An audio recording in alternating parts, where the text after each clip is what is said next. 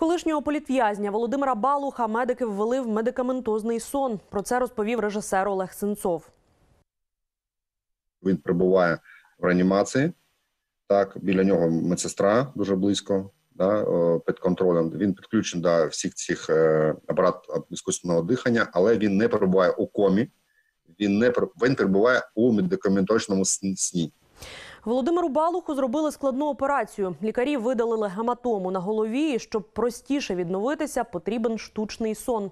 Нагадаємо, Володимира Балуха знайшли непритомним та побитим на столичному гідропарку. При собі чоловік не мав ані телефона, ні грошей. Ймовірна версія злочину пограбування.